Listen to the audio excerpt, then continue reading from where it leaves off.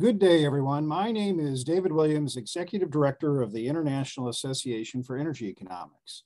It gives me great pleasure to welcome you to today's webinar entitled Trucking the Potential and Pitfalls of Carbonizing Big Rigs. We're grateful to our moderator, John Kingston, and our distinguished panelists for today's timely discussion. But first, a little bit about the International Association for Energy Economics.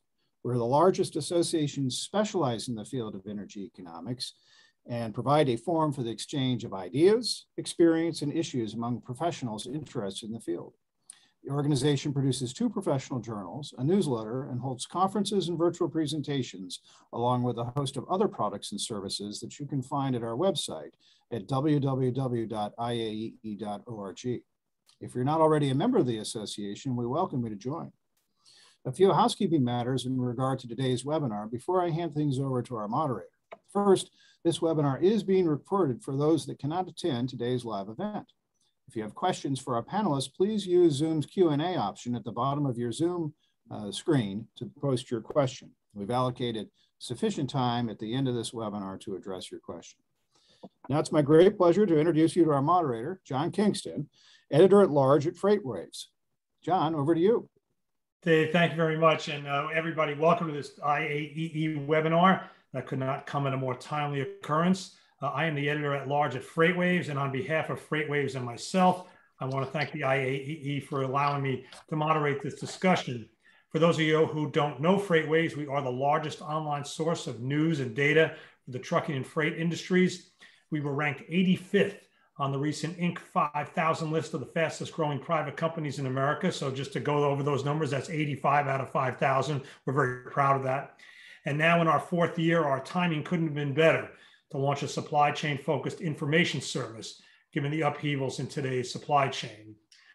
Our webinar, as, uh, as Dave said, is entitled Trucking, the Potential and the Pitfalls of Decarbonizing Big Rigs.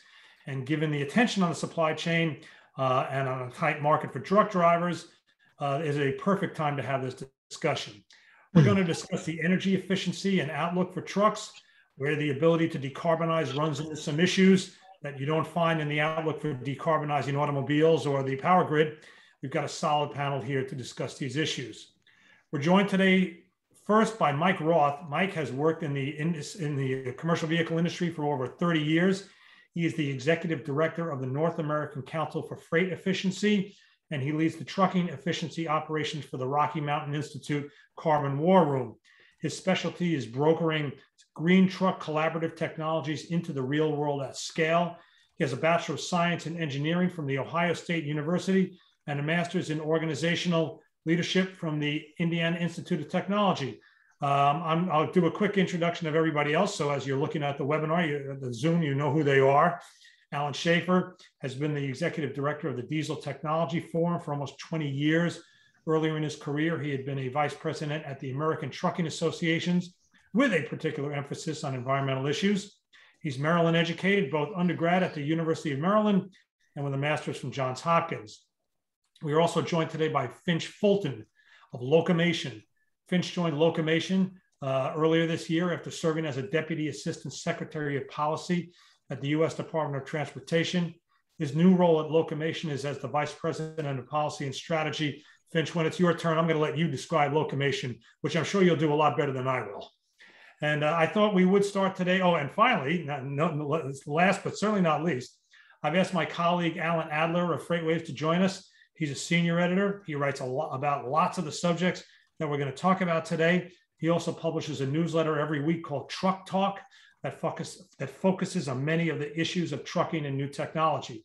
So I thought we'd start at kind of at the beginning with Mike, who can discuss the current state of gains in fuel efficiency and in trucking. They've been pretty stupendous over the last 10 years or so. So, Mike, why don't you take it away? Thanks, John. Um, happy to be here, and I think we, you know, the we've got a, a real balanced panel. This is like a three-legged stool, I think, with uh, what I'm going to share, and then Alan and Finch. So let's uh, let's dive right in. We've talked about this as sort of i've titled this freight efficiency during a move to, to zero emission vehicles. And uh, decarbonization uh, comes in uh, you know many forms. Uh, it doesn't have to be just zero emissions. So a little bit about NACFE. We're uh, we're about 12 years old now, and we uh, we're an unbiased nonprofit working to help lower emissions and save money uh, on mainly heavy trucks, but also in in medium and heavy duty across both the U.S., Canada, and now also in Mexico.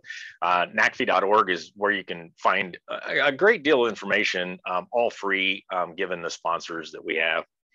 So when we think about um, decarbonizing, uh, you know, there's a couple of aspects here, and as you can see on the bottom, um, there's no time frame. This could be decades um, or more that we're talking about here. But um, you know, in the as we count um, real heavy tractors out there and and single unit trucks, you know, there's about 10 million of those, 10, 12 million of those. 2.8 million are the the ones that are doing the the long haul and regional haul uh, class eight kind of uh, uh, work that's um, creating a lot of the emissions and, and has a lot of the fuel burn. And we see over time a move to uh, battery electric vehicles and fuel cell electric vehicles uh, that will emerge for a, a, bunch of a bunch of reasons, including sustainability, regulations, total cost of ownership. Um, but also during that period of time, uh, and I'll get into this very soon here in my talk, um, you know, a lot of other technologies that are coming, um, including diesel. Uh, so it's going to be a wild ride with respect to the powertrain, we believe, over the next 20, 30 years um, in North America. And so here's sort of uh, how we view this in in a snapshot. Um, and so today, uh, you know, on the left, we've got, you know, uh, very mature diesels and natural gas, but immature new technologies. And there are many unknowns and challenges. And, you know, I even laugh sometimes when I talk to people about electric trucks and fuel cell trucks. I mean, there's people thinking that these trucks are already out there moving a lot of freight and they're not. They're emerging. They're coming out and and they're here but they're um, at the very early stages. Um, i'll jump clear to the right where for all those reasons I talked about, I, I think the future is um, electric vehicles with hydrogen fuel cells uh, being powered with clean renewable energy. And, and that day, um, whether it's for us, our children, or our grandchildren, would be pretty interesting with respect to you know keeping our climate cool and um, you know and really saving money in the long term. Between here and there, though, we, we call it a messy middle here at NACFE, and, and and affectionately so. I mean, there's a lot of technologies that are emerging uh, over the period of time, whatever that is. You know, in some cases we'll see battery electric trucks in smaller smaller trucks. You know, this decade, um, scaling pretty heavily. Uh, but in that longer haul, you know, much more challenging. So improvements in diesel, natural gas. Um, you know, we got an announcement um, right now about a 15 liter Cummins natural gas engine, which uh, could run on renewable natural gas. And so that all of that will take place while we're also developing these battery electric and fuel cell trucks. So very interesting times for the industry and really in some ways quite challenging for fleets and manufacturers because the key here is for each of the technologies to, you know, what we're talking about is let's get round pegs and round holes. So where any of these technologies for powertrains work well, let's get those in those duty cycles the earliest. And so we've done a lot of work on electric trucks. Uh, and we, we believe they definitely will scale in medium duty and in uh, even many class eight um, applications of what we call shorter regional haul. And, um, and that is uh, you know, happening uh, as we speak. So battery electric trucks are, are a given. They're happening and it will be how much of the heavy market do are they able to do? I mean how heavy will the batteries be? How much range will they get? How much cost will they have? What will be the economics you know and sort of the way we think about it you know we think 250 mile a day for a battery electric truck will be economically advantageous for fleets. But when you get above that it'll be you know what, what happens with battery electric truck technology and what will happen with fuel cells and renewable natural gas and advanced diesel, et cetera, et cetera, in the in the heavy in the heavy part of the market. And so I, wanted to bring up, um, you know, a couple of points here around NACFE. We run a Run on Less uh, event, runonless.com, if you want to take a look. And we've run, we've conducted three now, and um, this is just a good way to talk about efficiency. So uh, when you know in in, a, in the United States, um, hauling freight with heavy trucks uh, all the trucks that are in the population, that 2.8 million on my first slide, they average somewhere around 6.6, 6.7 uh, miles per gallon. Now they they haul light, they haul heavy, they haul over the mountains, they haul on the flat, they go downhill, they go uphill. Uh, so you know, 6.7, let's call it, is an average. But we've shown in 2017, and the number is even higher now, that 10.1 or 10 plus mile per gallon is possible. So technologies have emerged, and Alan will get into it a little bit more, both on the engine side, the powertrain, aerodynamics, how you drive the truck, air, um, hoteling, and so forth, where there's a lot of opportunity to still improve the efficiency of the heavy tractor trailer. Uh, and then, you know, regional haul with e-commerce and so forth, that middle mile that many people talk about is growing. So, you know, there are challenges when you go on off of highway, do more start and stop keeping that MPG up. Um, and then finally, electric trucks. And, you know, in 2021, um, these are the 13 electric trucks that we followed last month. And, um, you know, I don't have time to go into the detail here, but drivers love them. Fleets are learning the maintenance benefits of an electric truck. I mean, think about it. It's, it's, you plug it in, batteries, power electronics, it goes to the wheels you run the truck. No after treatment a lot less parts. I mean uh, we, we're confirming with what we did here that a lot of those benefits for battery electric trucks are truly there. And then uh, but there's huge challenges around infrastructure and so forth.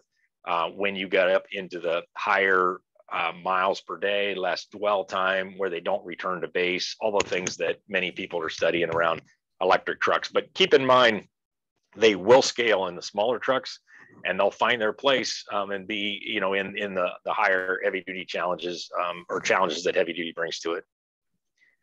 Um, so quickly, uh, you know, the, these uh, these trucks are out there um, that are battery electric, uh, and we've uh, you know right now we've got these video case studies that exist uh, around medium heavy terminal tractors. There in the middle, a really good application of electrification of heavy trucks, um, albeit a niche market.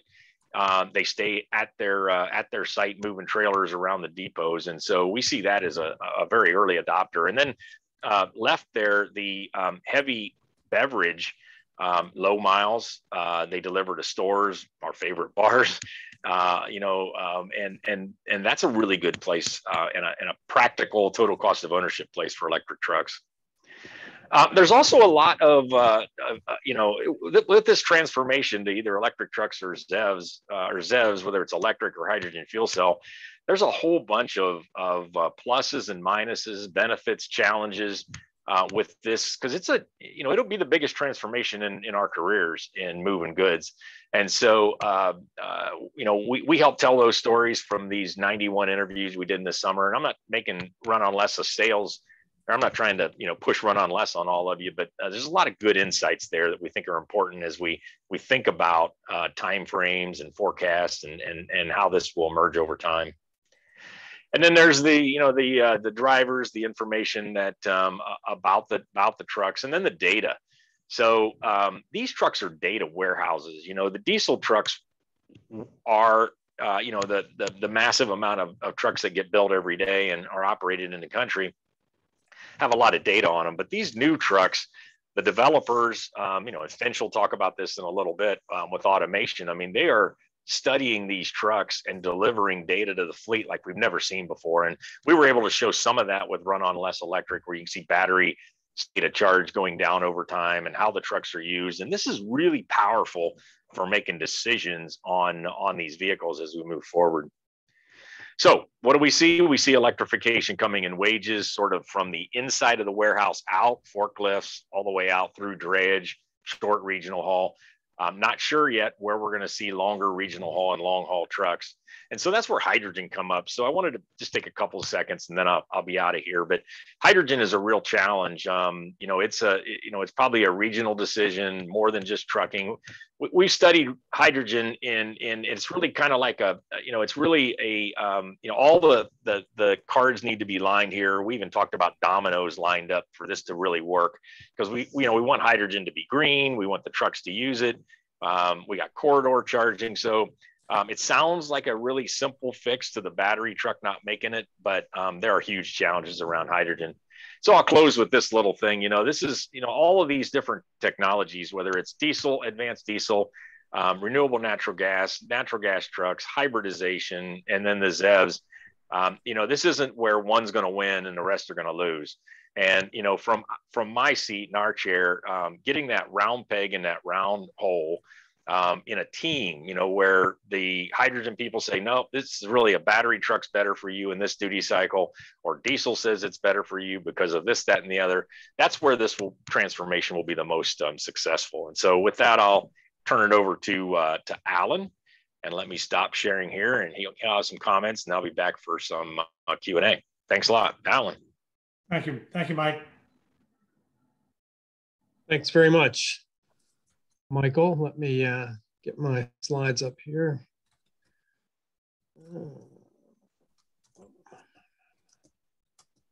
There's my screen share.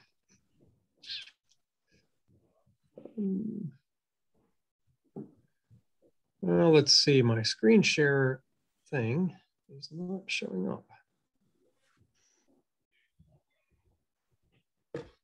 Where is my screen?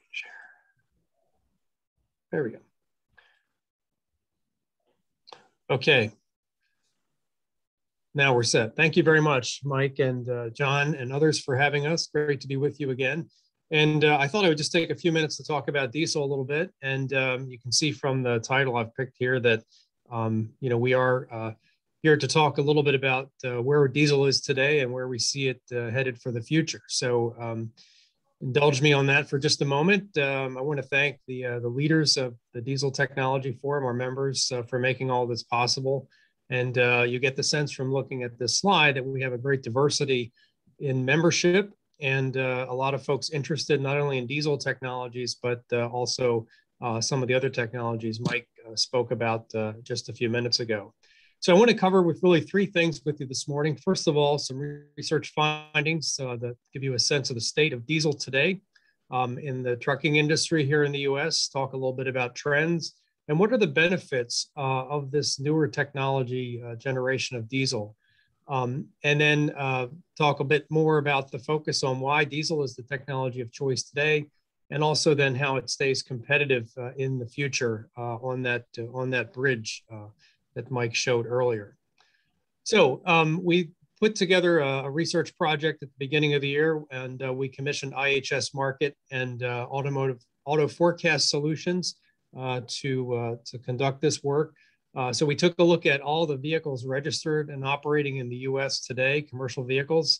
And this slide summarizes those findings. I think you get the sense there's about 11 million diesels on the road, um, 76% of all commercial vehicles, class three through eight, are powered by diesel. Um, and uh, we like to think about the, uh, the turnover in the fleet and the adoption of newer, cleaner, near zero emissions technology. Um, and uh, about a half a million new trucks across those class three through eight categories were added um, last year. Um, and you, you get the sense of what the penetration is from some of the alternative technologies Mike mentioned, um, about 10,000 electric trucks showing up and about 60,000 CNG trucks and about 3 million gasoline in this uh, class three through eight range. Um, one of the things we focus on is uh, what is the, the state of technology of those diesel trucks on the road and 49% um, now are the newest generation of diesel. That means 2011 and later model year um, are the uh, almost half of all those vehicles on the road. I'm, I'm pretty sure they're probably half uh, by now that was a 6% increase uh, compared to 2019. Um, so the continued investment in diesel is good, um, not just for manufacturers making those trucks, but also for the um, uh, for for society and for the truckers that use them. Um, but just to level set everyone about what we are talking about when we say new technology diesel, we're talking about manufacturers of vehicles uh, since 2011, um, and the new technology diesel involves these three elements of the system: uh, uh, the ultra low sulfur diesel, of course, advanced engines and combustion technology, and then a highly integrated um, emissions control uh, system, uh, selective catalytic reduction, SCR as it's known. Um, and if we have a focus on the larger trucks, 97% um, of the class eights on the road today are powered by diesel. Um, and 50%, uh, fully 50% now are 2011 and newer. And so you um, you get the sense that that is a, um, a, pretty good bump from, uh, from previous years. Um, and so uh, when we think about uh, this uh, new technologies and alternative fuels sort of coming into focus now for the market, and uh, you know why are we using diesel today? And uh, these are the same uh, points that will help us determine about why and where diesel makes sense for tomorrow. Um, and all of these factors taken together um, really deliver us the the incredible trucking system and goods delivery system that we have here in the U.S. today. And, uh, you know, it's the reliability, it's the highly availability. Um, over 100,000 fuel retailers have diesel in place today, extensive service and parts networks. Um, it, is a, it is a technology that uh, reaches every corner of America. Um, and uh, increasingly, uh, the, the, the two bottom bullets here really, I think, um, direct us to where this future lies for the technology. And that is uh, not only near zero emissions that we're achieving today, but also what the future holds in that regard. And also, when we think about decarbonization, um, we also want to think about all the different forms we can get carbon out of the uh, out of the environment. And renewable fuels offer us an immediate um, uh, way to do that um, across all the existing fleet. No need for new trucks, no need for new infrastructure. Um, low carbon solutions across the wide latitude of vehicles can deliver some pretty impressive benefits. Um, and so uh, just to, to, kind of jump back to our analysis, we can see, you know, uh, looking across the country um, where uh, certain regions have more of the new technology vehicles in the, in the population than others. Uh, we did this broken down by EPA regional maps. Uh, so you kind of get a sense here, of the range is um, anywhere from the, uh, the 43s out west, 43% of all the trucks registered in that far left and western part of the US are 2011 and newer and then in some parts of the US, it's uh, much higher than that. In the region six in Texas, down there, it's about 54.6%. So um, you get a sense that uh, things are fairly close, but there are some differentials. Um, and if we broke it down individually by state, you get a sense here of where uh, some states rank. This is the top 10. Indiana is number one. Um, a footnote on that for everybody, and of course, uh, those of you in the trucking industry know this, that Indiana has a particularly good um, registration um, uh, things for, for fleets in terms of how to register vehicles there.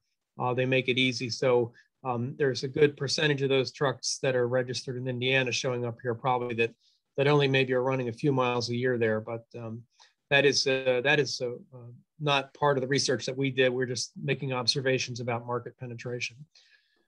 Um, so what does all that mean? uh, other than having new trucks on the road, we look at that in terms of benefits, and then we apply some EPA modeling to the fuel savings um, of emissions performance of these vehicles, and you get a sense that um, the impacts are pretty significant. And we might not think of these um, in the same way that folks are thinking in the future that if we had a fleet of all electric vehicles, for example, what would that mean for climate? Um, we're talking about what's happening now what, what is happening in terms of CO2 reduction, what is happening in terms of NOx mitigation. And it's quite a considerable um, Im improvements um, since these new generation vehicles hit the road. And you get a sense of that uh, from this slide, almost 20 billion gallons of diesel saved and 200 million tons of CO2. What does that translate into? Um, if you're thinking about how many vehicles it takes off the road for a year, uh, it's 43 million. If you're thinking about um, uh, renewable electricity and sort of how that factors in. Um, this uh, penetration of diesel trucks in the last uh, period has removed much, as much CO2 as a wind farm with 42,000 turbines, about five times the size of Washington, D.C. So one of the points of this slide is um, we should value carbon reductions no matter how we get them. So let me finish with this final um, uh, piece here, and that is how does diesel play in the future? And it's really these four things uh, together. First of all, emissions closer to zero, and uh, that is uh, happening now in California. And also uh, consideration at the federal level, we expect some new rules, to proposed rules to come out next year on that. Um, the vehicles are becoming more energy efficient thanks to the existing greenhouse gas rules that are in effect and the constant customer demand for more fuel efficient vehicles. I mean, I think let's be clear. I mean, there's the government mandates uh, directing uh, lower greenhouse gas emissions are one thing, but uh, fleets have always wanted and, and invested in vehicles that are more fuel efficient than other vehicles. So that's always been there, but the vehicles are getting more energy efficient. We'll also see expanding use of renewables and hybridization where it makes sense in some of these medium range pickup and delivery kind of applications as well. Um, when we think about uh, this broad opportunity for renewable fuels, it is quite substantial. And if you look at where California achieved most of its CO2 reductions um, in 2019, and this is data from the Air Resources Board and Energy Commission, um, you get a sense that renewable diesel and biodiesel here in the green bars uh, dramatically reduced CO2 emissions in California. In fact, uh, more than five times the amount of uh, CO2 mitigation compared to all the electric vehicles combined. So um, this comparison helps us understand that all of these fuels and technologies can do uh, important things in terms of decarbonization. So my last uh, slide here, just a few thoughts. You know, I think we've seen the evolution of diesel over time. Certainly when I got involved in this industry in the late 80s, we were spending a huge amount of time talking about smoking diesel trucks. Um, this is not really an issue anymore. I mean, since 2007 and new particulate filters, um, that has really eliminated that problem. And now we're really focused on uh, approaching near zero emissions uh, with, with, uh, with the advanced generation of diesel. This, uh, the use of renewable biofuels does bring, I think, some very fast and important carbon reduction opportunity uh, for some fleets in some areas. And I think like Mike pointed to, um, you know, you have to think about uh, what's the best decision in the best area. If you have a, a great access to renewable diesel fuel, and uh, have fleets in urban areas that might really benefit from that, you can start using that tomorrow and start mitigating CO2 emissions tomorrow, not maybe in five or 10 years when the infrastructure is available, but literally tomorrow. And this has been borne out in California over the last decade. Um, I think the greatest opportunity for alternatives to diesel um, is going to come, as Mike pointed out, in some of those short range, regular route uh, areas um, I think, uh, you know, there are some very big questions about fuel access, refueling and charging that um, are really critical to determining the, uh, the penetration of those alternatives. Uh, but nonetheless, I think the more investment we have in the newest generation of diesel, the more benefits we're going to continue to accrue to the truckers that are driving these trucks and the communities that uh, these trucks are serving. So um, attacking all these challenges really requires more than one solution and uh, the new generation of diesel is uh, is one of them. So thank you, and let me uh, turn it over to uh, uh, to Finch. Wonderful. So I am now moving to share my screen. Actually, Finch, we, we really like that background. Maybe you can, you know, keep just show the background for a while. That was, was really cool. Sure. Well, I'll get back to the background in a second after okay, I jam through some of these slides. Uh, so again, I'm Finch Fulton, the VP of Policy and Strategy for Locomation, which is a combination of the words locomotion and automation. We get a lot of confusion about the name. Um, and we are a Pittsburgh-based company that comes out of Carnegie Mellon, like all the best automated vehicle and automated trucking companies. Uh, we are located uh, down at Robotics Row, but we also have a testing facility out at the TRC in Ohio. Um, and unlike almost anyone else, unlike any other automated trucking company, we have two signed contracts uh, coming up, and we'll be looking to deliver the first vehicles by the end of next year. And so you'll see the first deployments by the end of next year, as well as throughout 2023 and beyond. Uh, so that's not something. This isn't a reservation. This isn't a you know maybe I'll show up. This is a signed contract. So that's significantly different. Uh, and there are a few things that make us different. One is, of course, we have our automated vehicle technology we have a different human-centric approach where we have a two-truck linked convoy uh, that uses two human drivers and two ARC systems, autonomous relay convoy systems, uh, to get the driver uh, on the road. They can turn on the system and they save on hours of service. I'll get into that more in a second. Uh, we also, I'll actually talk about the digital transportation systems first. So, sorry, it sounded like I was getting a question. Maybe maybe we need to make sure everybody's muted because um, I will take questions later. But um, so after I set this baseline, just the thing. I had to do it on my laptop. Okay. So All right, uh, David. I think if you can mute, um, or if somebody can mute him, that'd be great. Anyway, so uh, we've got the back-end organizational approach where if we want to have these linked two truck convoys, we organize it on the back end using machine learning and data from the actual carriers to make sure that we can combine these uh, vehicles so they can get the efficiencies that come from the system. Uh, and then, of course, we have our autonomous relay network that's based off of the uh, US DOT's freight analysis framework. You'll hear every autonomous trucking company talk about this framework. They may use different graphics or different maps, but the gist is that um, as you look at where the freight goes in the country and as you look at what goes on trucks, you can see where demand is and you can see where the possibilities are. For our two truck uh, linked convoy approach, we're looking at about a thousand miles a day that drivers can drive um, using their hours of service. And so if you want to be able to get the drivers home every night, which we'll talk about again in a second because it's important for driver retention, you're looking at a network across the country that utilizes the freight analysis framework to get drivers or to be able to drive the uh, containers 500 miles, drop and hook, and then the drivers go home, the containers keep moving on.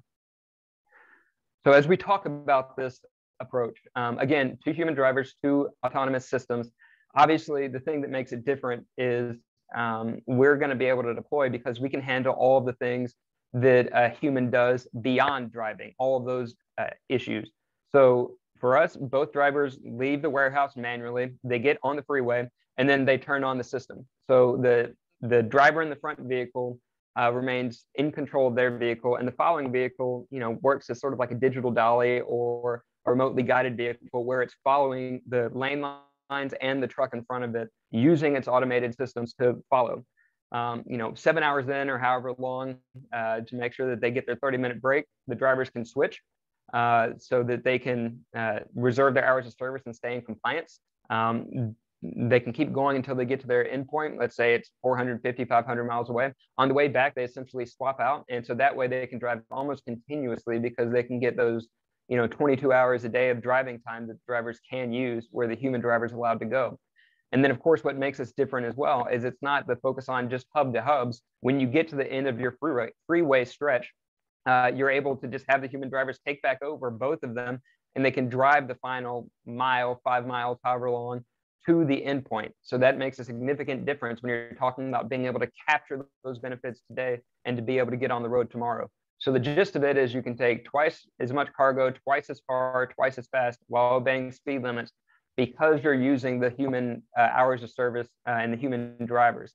Reduces operating cost, it uh, bumps up the equipment utilization because it's not sitting there idling somewhere or resting while the driver is getting their mandated rest. And we'll talk about this more. The CO2 emissions um, are significant. And as you look at this approach and what this means compared to some of the other models for solo autonomous trucking, you can capture many of the benefits today. It may not be as applicable when you turn on the autonomous system, to as much, but you can capture most of those benefits and you're not waiting for the regulations or the technologies or certain providers to fully establish redundancy in their approach. Uh, all of those things that are important for safety, you can use the human drivers to take advantage of these systems today. And so it's the fastest path to the market. It's the smartest path to the market. And as we develop our systems, we'll be, develop, we'll be using real world data um, and working with real customers in revenue generating loads to be able to train the system further and to be able to take on those uh, approaches that are further out. So policy impacts and why this sort of matters for everyone on the call. You've seen many of these key industry trends. Uh, the amount of freight that needs to be moved every day is increasing. The time uh, for delivery is decreasing with everything going on with on-demand e-commerce. And those, those trends are gonna keep continuing. Uh, most truck drivers aren't operating for the majority of the time that they're around. They have to take mandated rest periods. Um, and there's a 60,000 truck driver shortage. But if you look at these big picture items, so there's a truck driver shortage and demand is increasing. There's over 100% turnover in most of these long haul trucking companies because these are tough jobs and they can uh, at times not pay well you have uh, poor matching. So you have 16% of miles these truck drivers drive are without a load, and they get paid by the miles that they deliver loads. So these are deadhead miles that are just costing the truck drivers. Um, with that great turnover comes higher safety issues because new truck drivers aren't as safe as truck drivers that have been driving for a long time that understand what's going on. Uh, obviously, they're very frustrated about the lower utilization of their vehicles that you know many times truck drivers are paying for in companies. So this causes frustration this can cause them to do unsafe activities like trying to beat the clock on hours of service. So they're speeding to get where they need to go because they don't want to, you know, get caught somewhere in a city. They're taking inappropriate actions, and speeding is the highest uh, highest cause for crashes of truck drivers. That truck drivers themselves are the critical factor for. So all these things play into each other, and if you can remove that temptation to speed by being able to give them hours of the day back, uh, and if you can improve the amount of time they get sleeping, you're saying that the top two causes, sleepiness and uh, speeding, those are addressed. So there's safety impacts as well as some of the other impacts. But today, of course, is mostly about emissions. This is word soup, but you know, feel free to take a screenshot um, or do whatever you want.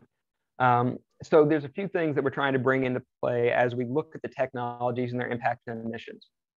Uh, first, with platooning alone, uh, as I mentioned, we have a two truck convoy approach. The platooning aspect is the uh, longitudinal, it's the, it's the distance between the vehicles, the way that these systems control for the distance between the vehicles. You can get 8% fuel efficiency off of that platooning. Of course, with convoying, it's both the following closely as well as the lane control. So that's the difference between a platoon and a convoy.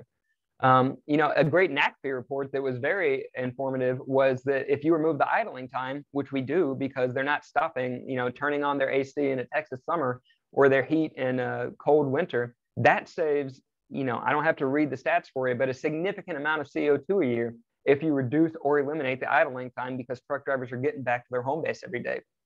And then you see some of these other factors with the speed smoothing, with the reduction of need to uh, speed, if you're looking at the efficiency gains you can get, um, but also some of the other things that you may not think to take into account. If if there is an hour a day that truck drivers spend looking for parking, that's wasted time for everyone. And that has significant impacts to traffic congestion, to truck driver safety. I haven't validated this stat, but I heard someone else at a different panel talking about that, you know, once every two weeks, a truck is crashed into and somebody dies. If they don't have to be spending time looking for a parking spot and unfortunately parking on the side of the road, you can save lives there as, as well. And then as you look at the um, duty cycle of these trucks, um, you, you increase the incentives to invest in the different technologies that can save fuel, whether or not it's advanced diesel technologies, electrification, or even the things like the you know wind shears that help with the efficiency of the vehicle that only work on interstates but don't work in the urban uh, situations. So you have more incentives to invest in those technologies that already exist today and have been around forever when you simplify the duty cycle and start bringing on these organizational approaches. So what, what that means, and we're getting these numbers validated by an independent third party so that we can blast them everywhere. Um, the, the math we've done shows a 62 metric ton average emissions reductions per truck per convoy. So for each truck, that's the equivalent of removing 13 passenger vehicles from the road every year. With just our first two customers, you're looking at over the equivalent of removing over 28,000 passenger vehicles from the road. Uh, and then so on. If we take over the world, the entire market, we went out, it'd have even greater um, impacts. But if we're looking at emissions reduction, you know, the transportation sector in the US causes roughly a fourth, a little over a fourth of the greenhouse gas impacts.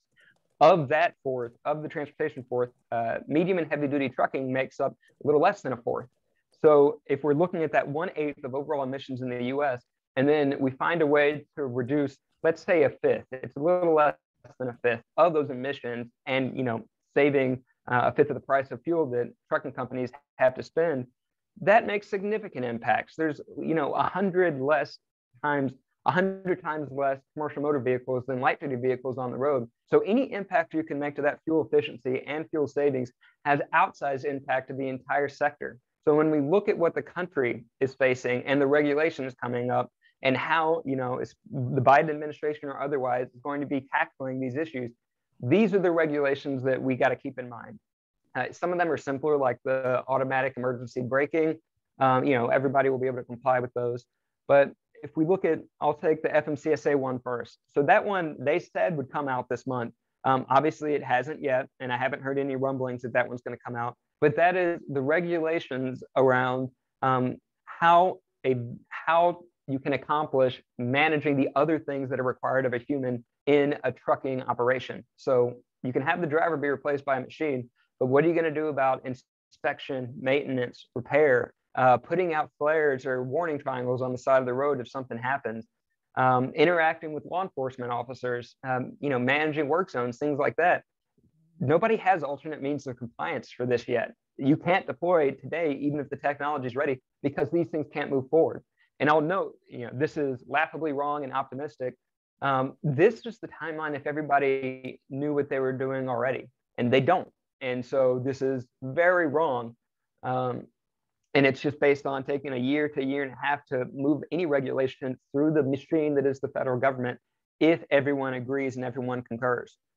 You know, minus the impact of the Teamsters or organized labor on not wanting them to move forward a regulation. I don't know, getting pretty close to an election year. So you can imagine that if you can have a human-centric approach, you're much better off. Uh, then we have other things. The NHTSA one on automated driving system safety. This is going to be where the federal government for the first time regulates the operation of a vehicle, not just the equipment.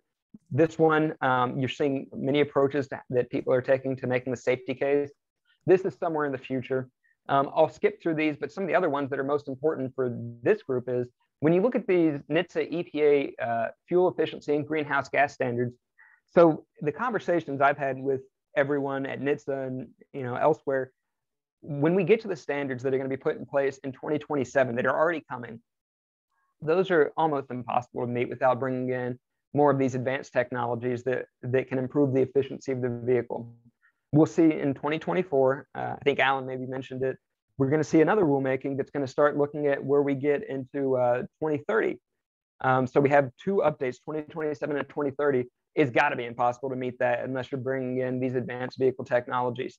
And so as we look, you know, roughly a decade away from when these are coming in, we have to take both the embrace of technology and the embrace of the operational efficiencies. Both of these go into the rulemakings that EPA and NHTSA put forward.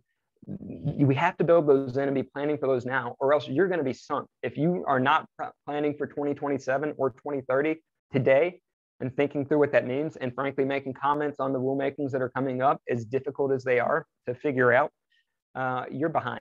And so those that can embrace technology and plan for the future will be the ones that really thrive in the future. Because I can make jokes about how long it's going to take FMCSA and NHTSA to move forward with the automated vehicle rulemakings. Those NHTSA EPA rulemakings are not only a priority for the Biden administration, but also they're mandated by Congress. The increases in steps uh, for fuel efficiency, that's going to happen no matter who is president in 2025, 2026. You get it. Um, so with that, you know, I know there's lots of questions on will the technology be ready first or will the regulations be ready first? For us, it's going to be the technology because we'll be out there deploying with the human-centric approach that makes sense today and is an evolutionary approach to full automation. So with that, I'll turn the floor back over. I'll let you see my beautiful background uh, and be ready to answer any questions. All right, great, Finch. All right, we're going to turn now to my colleague at Freightwaves, Alan Adler, who has written about these issues for all his time at Freightwaves and was involved with them previously. So, Alan, just if you could just chat generally, what are some of your thoughts about the state of technology? It was interesting last point that Finch made the technology would be ahead of the regulations. Where do you see the technology? How do you see batteries versus hydrogen versus, you know, we, we have the news today about natural gas and the Cummins engine. Uh, where do you see the state of play? Well, thanks, John, and thanks for having me. I, I guess I, I listened to each of them. I, I, I, don't know you, Finch, but I have certainly talked to Alan and, and to Mike uh, before. Um, I would say that, you know, we're, we're sort of uh, coming into a period where sort of, as, as Mike put it, there are no losers, but there are winners. And there are some that are quite honestly farther ahead than we might think. I've been had the opportunity recently to, uh, uh, you know, ride in a couple of autonomous trucks, most recently with Embark trucks. And I can tell you, it, it's pretty stunning how far along these have come. Now, does that mean we're going to see these on the road in the next five or 10 years and in big numbers? The answer is no. But I think the technology is way farther along than a lot of people think. And I'm heading out to Simple uh, tomorrow to take a look at, at, you know, experience what they're doing. So I think starting with the autonomy space, uh, it really is moving very quickly. I think there are a few issues yet to solve, and I know that you know Locomation's approach is to sort of uh, you know apply level four to the convoying, as they prefer the term, to platooning.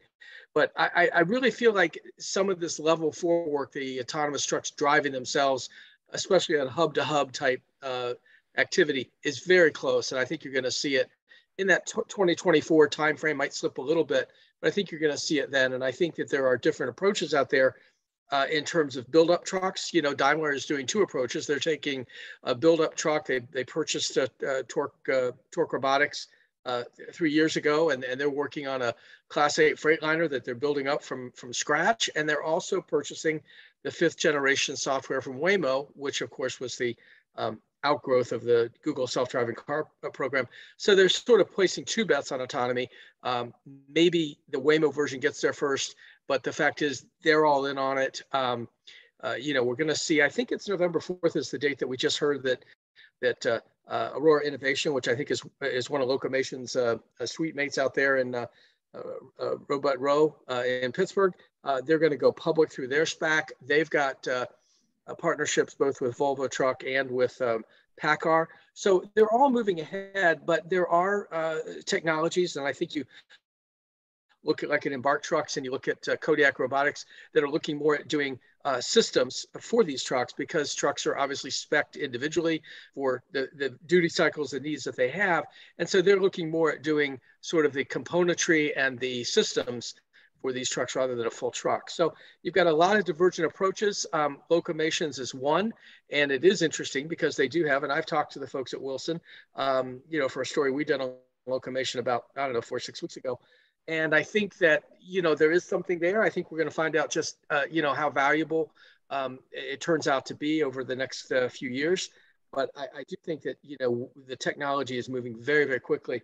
Um, I took a couple notes on what Mike said because, you know, we talk, you know, pretty regularly and it, it's very clear that um, that messy middle that he talks about is, is very true. And, and I, I can't really disagree with much of anything that he said, nor, nor would I have a reason to, but, but I think that you've got, um, you've got electrification that has some some value, but also the fleets that have been testing it are finding, uh, especially with the sort of day cab, the Class A day cab, they're finding that there is uh, an upper limit really to the to the value of electrification, and that's somewhere around 300 miles on, on a route. Um, so that then raises the hydrogen issue. I happen to believe that you know as someone pointed out, hydrogen has a lot of challenges ahead of it, but there are people that are very heavily involved in and you're seeing much more of the hydrogen production story uh, playing out now uh, around the world as well as as well as here. I mean, I've been quite honestly amazed. I mean, Nikola's been through some very difficult times, but they continue to make announcements about things that they're doing. Uh, most recently, with uh, I think it's TC Energy out of Canada, uh, about building out hydrogen infrastructure because this whole chicken and the egg thing is real and it's got to get addressed on hydrogen. Um, you know, John, I can stop there if you like, or I can keep going. Yeah, I mean, I mean that's great. I mean, we could have kept listening to you. Just jump in on anything. I, I did. You mentioned Wilson Logistics, and I did want to go to Finch and Alan, maybe you, because you wrote the story. You know, I I think I wrote the original story when it was announced that Locomation and Wilson Logistics had signed a deal, and um, uh, Finch, why don't you talk about where that's at, and you know, what do you have to do with a company that you sign up to say, okay, we're going to do automation with you? This is a lengthy process. I can't remember when I wrote the story. It was a while ago, and uh, you're you're you're getting there, but you're not ready to go yet. So you can see the, the the, the runway needed to get something going like that. What do you do with Wilson Logistics? I'm assuming you probably have a, a mass of people on the ground at their headquarters to to make this work.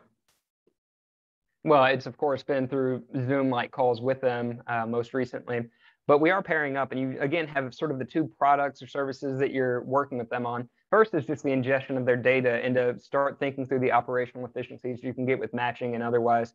And it, you don't have to think of it as being any more complicated than Excel sheets and equations, even though it is slightly more complicated than that.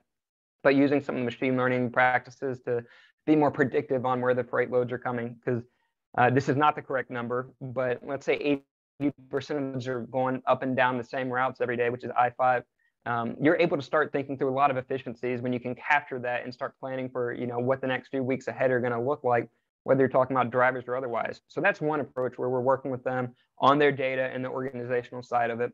And the others, of course, is going to be all the steps it takes between here and the end of next year for not only the, the development and delivery of their truck, but the training of their drivers, the making sure that they have their safety practices in place, the preparation for you know talking to the regulators everywhere along the Northwest Passage and up and down I-5. Um, you know, having lots of those conversations to make sure we will be fully compliant when those times come.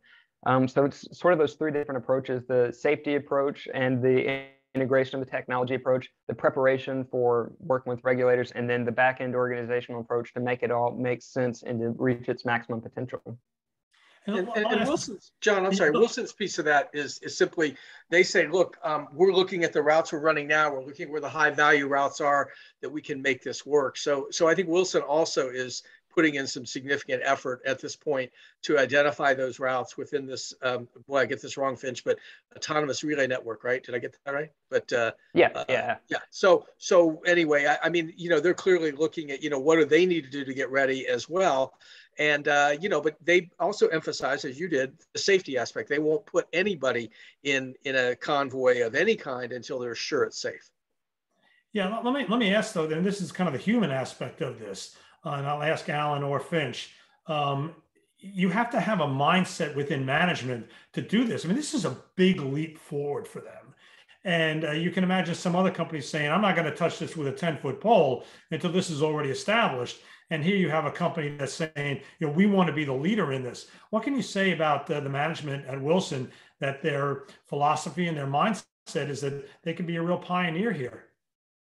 Yeah, well, there's lots of advantages to being to having leadership that's willing to embrace innovation. Uh, certainly, everything that you can talk about with retaining drivers because of this approach, you do have to have that focus on safety. You get the operational efficiencies and the fuel efficiencies of you know potentially up to 20%. Um, and then you get things that will help you increase your customer base because the benefits that come to the shippers as well. You know, there's a lot of requirements around uh, scope one and scope one and scope three GHG greenhouse gas emissions reductions that carriers and shippers, I should say, need to capture uh, especially if they're publicly traded. I mean, there's pressure all along the way for everybody to improve um, their emissions reductions programs.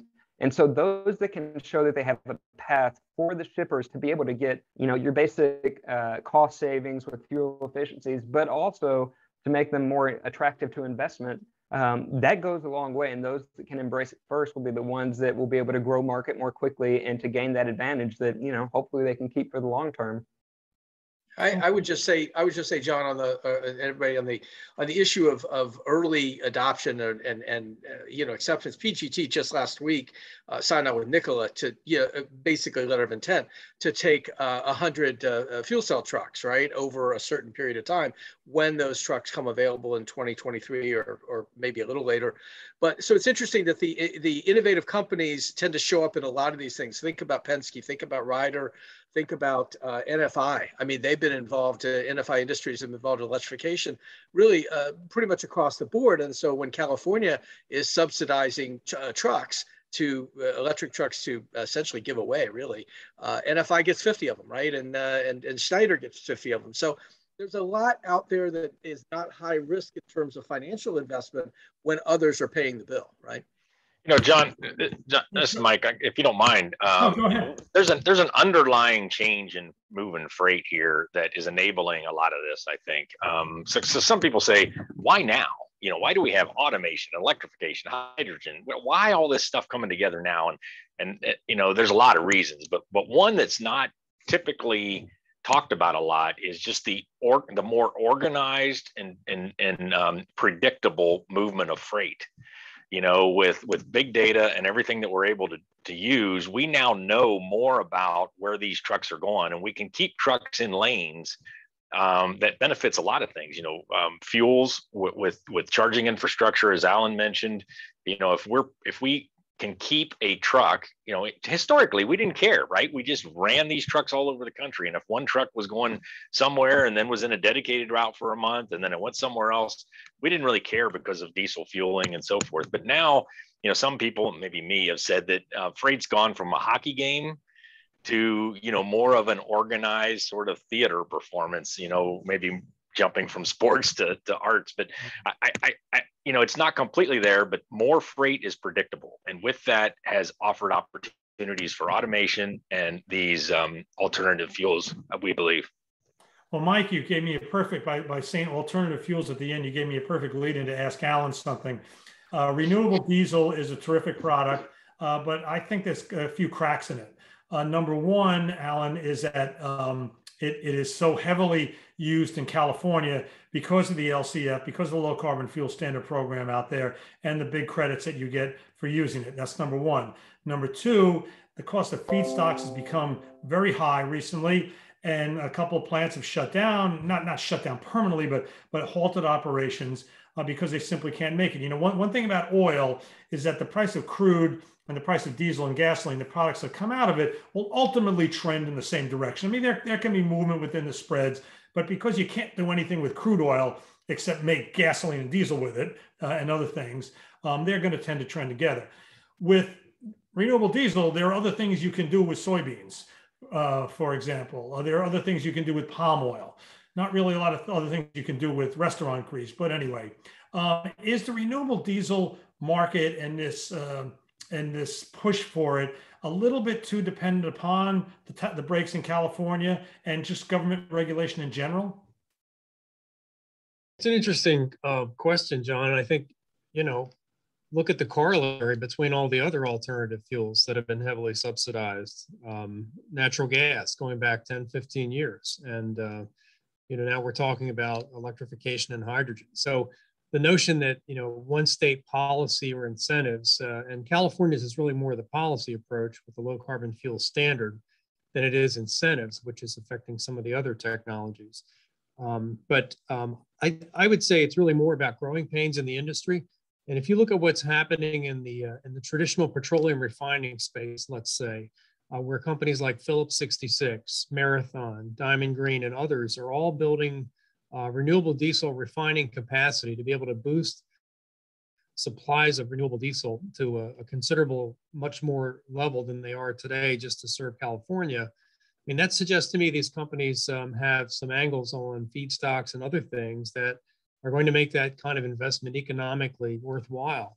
Not in the next year, maybe, but in the next two to five years. And uh, uh, Stratas Advisors has put together some really good analysis on this. And I think if uh, if I'm recalling correctly, that if all the capacity came online as as folks are anticipating in the next few years, it would be enough to replace all the diesel fuel in California that was used in 2019. So there could be a considerable bump in capacity for renewable diesel, and of course the feedstock equation is part of that.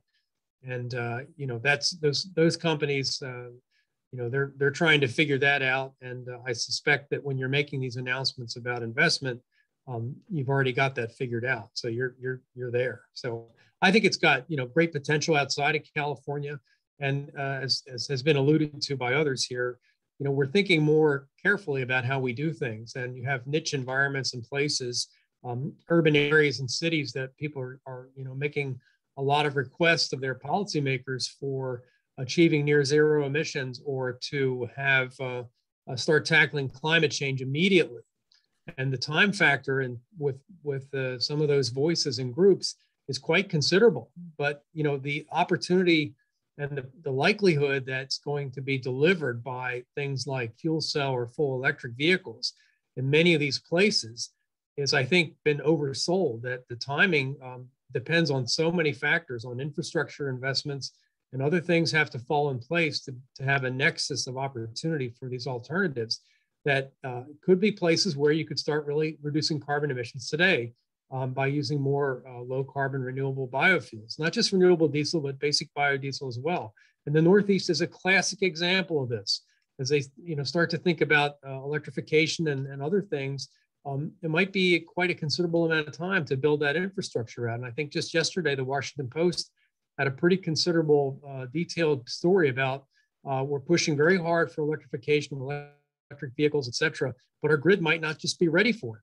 So mm-hmm. um, many factors have to come into place, and renewable fuels like biodiesel and renewable diesel are, are near-term available options and will become more available, uh, and, and I think as good or better choices uh, for some fleets uh, in the near future. And we do have a question from the audience right along with that. Does renewable diesel cause any engine problems? I think the, the renewable diesel is a drop-in hydrocarbon replacement for existing conventional diesel fuel. And uh, we have never heard of reports of uh, renewable diesel having any kinds of issues with, uh, with either new or older uh, technology diesels. I think, you know, one of the questions going forward is, will there be uh, a need to optimize some of the future generations of internal combustion engines so they could uh, be optimized towards a renewable diesel fuel instead of just conventional uh, ULSD, because there are some ignition properties of renewable diesel fuel um, that that could be uh, enhance could further enhance the benefits of renewable diesel if a particular engine or vehicle was was designed with that in mind, or at least had that flexibility to have okay, we want to use more renewable diesel in this vehicle, so um, we're going to adjust things accordingly that would make that efficiency boost greater, the CO2 reduction better, and emissions reduction better as well.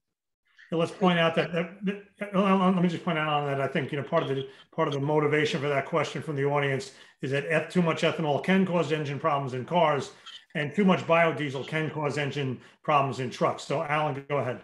Yeah, yeah no. Alan, I want I, I, just want to ask you, Alan, and I've asked this question of, of, of the diesel technology forum over the years, and that is uh, with California, you sort of have this um, good versus best uh, conundrum, really. And California wants uh, diesel essentially off the road because low uh, emissions isn't good enough. Uh, again, I'm just paraphrasing what you hear every week. Uh, are you are you fighting a, a, an uphill battle? I know you've got dominance right now. You pointed that out in your slides, but are you fighting an uphill battle against a, a state that really does influence a lot of things in terms of you know sort of a good solution versus, in their in their words, a, a best solution? Well, I think it's no secret that California has some of the most progressive policies that are encouraging alternatives to diesel and and uh, has for many years. I think, um, you know, that is, uh, you know, that is their uh, their situation, their choice in terms of air quality. They're making, you know, quite a quite an investment to uh, achieve not only their their uh, clean air standards but also their greenhouse gas uh, goals in the state. So. Um, I think, though, that um, in doing that, there's also become a realization that things may not happen as fast as they might have anticipated. And the fact that even California is telling folks, you know, well, with after 2040, um, we're going to the diesel is still going to be the dominant technology on the road. I mean, I think let's let's just let that settle in for a minute. You know, it's 2021 and and 2020 and 2040. That's you know 19 years from now. Diesel is still going to be the dominant technology out there. So that means that we're going to have a couple more generations of people investing in diesel. So I think um, the, the rhetoric is starting to, to maybe uh, maybe more align with reality in some ways in California um, as they see some of the, uh, the, what it's going to take to do the heavy lifting to get the kinds of penetrations of these new fuels and technologies that require such considerable investment. Um, that diesel is still going to be around for a while, and uh, we need to optimize the, the benefit of that. Hence, their ultra low NOx regulation they passed last year. Um, the low carbon fuel standard, I've already uh, demonstrated, I think that diesel is delivering the predominance of benefits there. So, you know, sure, California has not been, uh, I would say, necessarily a friend to uh, uh pro diesel policies. Um, but by the same token, I think, uh, you know, there needs to be a reality check and realization that this is a technology that's really been evolving quite dramatically. California has pushed diesel far to develop into more efficient near zero emissions technology. And why would we want to take the opportunity to use that away in the future? I mean, why, why would we uh, why would we put all this investment into making these ne- even nearer to zero emission engines and then and then take them off the table as a viable option for, for fleets out there? I think that um, you know I, I, just I just don't understand that uh, that the logic is not there on that. I think one of the things that that is clear if you look at some of that data in California, they lag the nation in terms of the penetration of new technology diesel vehicles. And that's due to a variety of factors. Um, I would say not the least of which is some of their own um, uh, regressive policies on fleet requirements for the truck and bus fleet rule. So folks have been holding on for older technology for longer. And when in fact they could go out and buy a new generation diesel truck and put it on the road today, that's going to be getting, you know, 15% better fuel economy than the old vehicle, much better emissions, much lower CO2. So we, we, really want to be thinking about the short term and the immediate term um, as well as that long term. And I think California has has had that really long visionary look, but in the course of doing that, maybe neglected some of these near term uh, emission reductions and efficiency opportunities that this advanced generation of diesel brings. And the reality of it's going to take a lot of time to turn over big big fleets of numbers of vehicles to other fuels and technologies. Not saying that that might not be a good thing when it's ready and when it's available, as Mike is pointing out uh, with his uh, great work um, every year. But you know, by the same token, we have tremendous advancements in the existing diesel. Um, let's leverage that to the best we can to get the most benefit now, um, and uh, and keep folks. Uh, progressive uh, guy in a new truck is going to be better than a guy in an old truck, no matter what uh, what it's burning or what it's powered by. All right, speaking of Mike, thank you. You gave me a nice little intro to Mike there. Mike, you referred uh, in your presentation to hybrid vehicles. And the term hybrid, I think, can have a lot of definitions. You know, when it first came into the uh, issue of, of, a vehicle motion. It was you know classic uh, hybrid with a, a, battery in a car that you know so the engine shut off at the red light, that kind of thing. Um, when you talk about hybrid and truck, I mean I can envision combinations that would all be considered hybrid. But when you say hybrid, what are you thinking of mostly? What, well, what so hybrid truck look like? Yeah, yeah, no, I'm happy to answer that. I mean, so the um, uh, you know we've got a plethora of fuels and then you can put on top of that more complexity to say, okay, well, let's take any of those fuels. We got liquid, liquid hydrogen, gaseous hydrogen, you know, propane in smaller trucks, on and on and on. You can take any of those uh, engine power plants and turn it into a hybrid.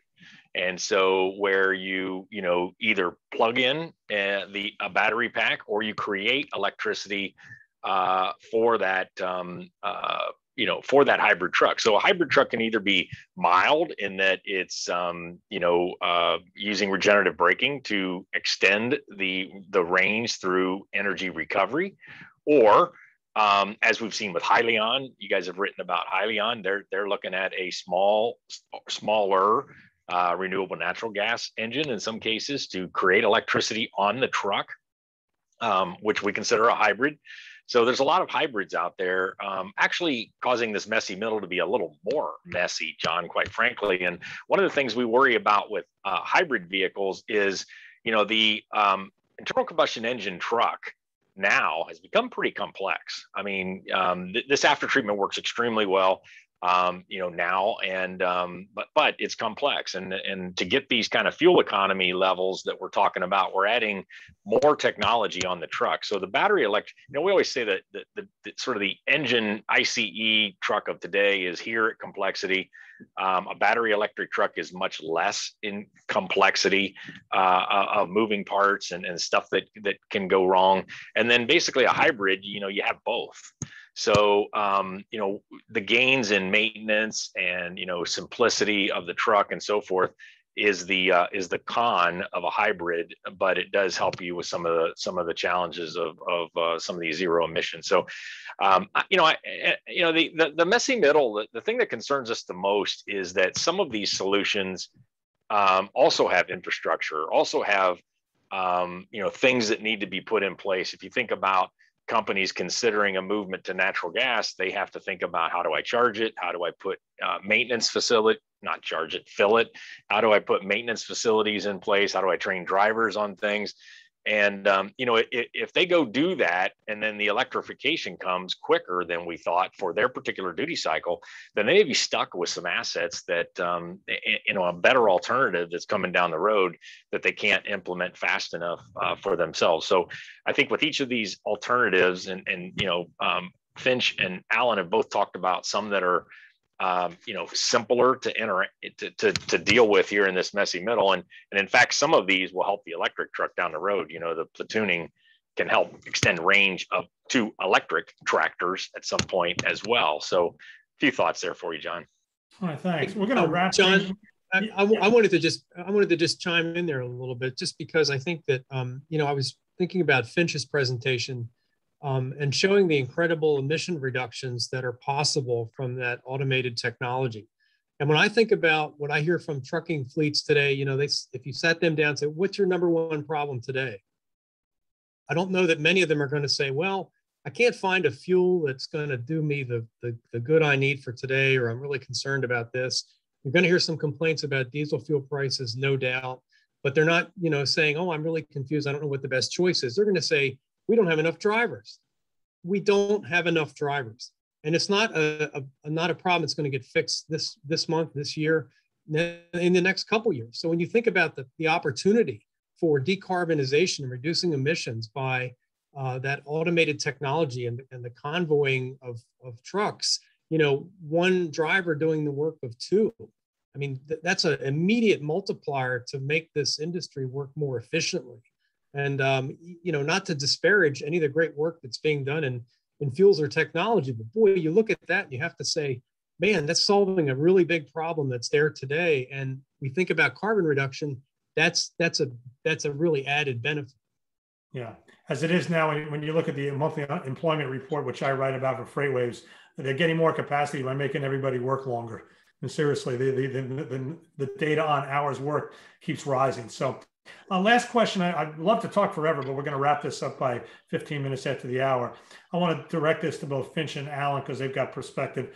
Uh, a lot of companies got mentioned today in your space, Finch. Obviously, Locomation being one of them. Uh, we mentioned Hyliion. We mentioned Nikola. Uh, Alan, you're taking a ride tomorrow, I think, with somebody. Uh, yeah, and I'm taking a ride next week uh, at ATA. There is a lot of companies in this field.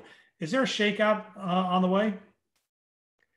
Well, and I'll, I'll just start. There's been the considerations of mergers and acquisitions for some time. We saw some consolidation about two years ago that lasted into the last year. Uh, right now, you've got seven major players in the space. Um, the two with human-centric approaches, Locomation and Plus, who you're going to see next week at ATA. Uh, you've got the passenger car companies that decided that they wanted to make money at some point, so they shifted into trucking, which is Aurora and Waymo. And so they're, you know, have a lot of history leading into it, but they are what they are. Uh, and then you have sort of the pure trucking plays, which is your Kodiak, Embark, and uh, TuSimple. So I, I, there's no math behind this, but I've heard that there's probably room for three to four major players in the space. Um, and then there may be others that look at more niche applications or markets, but I, I don't feel any major uh, consolidations coming in the very near future. Um, but maybe Alan has a different perception. Yeah, I, I would. You, I, you, wrote about Nikola for us, so you've got that whole history. Well, yeah, Nikola's actually not really in the autonomous space. I think from the autonomy perspective, there will be uh, some consolidation at some point. When you start looking at how certain companies are doing things very similarly, it, it probably doesn't work for everybody to be able to take just you know single digit percentages of this and that. You've got three autonomous truck companies uh, right now in SPACs, uh, special purpose acquisition companies. Uh, uh, Aurora looks like they're going to go public uh, early next month. I'm not sure where the plus one stands. And then of course, Embark Trucks probably is is coming up before the end of the year, based on what I've been told. So I don't think it'll be immediate, but I also don't think you're going to have six or seven companies out there five years from now. It just isn't probably isn't practical. All right. Well, hopefully we'll get this group together before six or seven years to talk about these issues again. We could go on forever, but uh, we've given it a good long ride, and I really do appreciate all of our panelists here today, my colleague Alan Adler from FreightWaves, Finch Fulton from Locomation, Allen Schaeffer from the Diesel Institute, and uh, wait, I think I described your, your, group wrong. I didn't get the, the name right, Alan. Diesel Technology Forum. Diesel Technology Forum, thank you. And Mike Roeth from, oh, I'm going to mangle this one too, the North American Council for Freight Efficiency. Actually, I think I got that right. So anyway, thanks everybody for tuning in. And uh, David, I'll turn it back to you. Thank you, John. Wow, what a wonderful webinar and a great lineup of talent here. Thank you so much. Uh, you know, this is the second uh, webinar that has really come together, uh, focused primarily on the trucking industry.